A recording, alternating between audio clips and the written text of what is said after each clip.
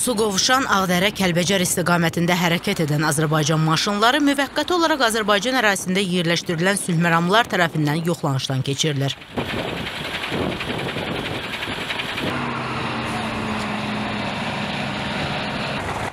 Lakin Rusiyalı sülhməramların rəsmi saytında yayımlanan videodan açıq-aydın görünür ki, yoxlanışda qanunsuz erməni yaraqlısı iştirak edir. Videonu şərhsiz təqdim edirik.